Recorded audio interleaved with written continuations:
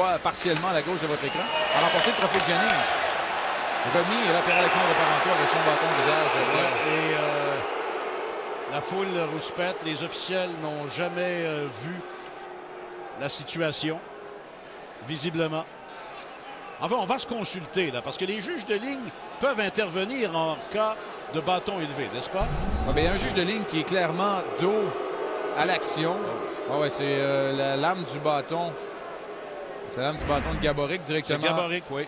au visage.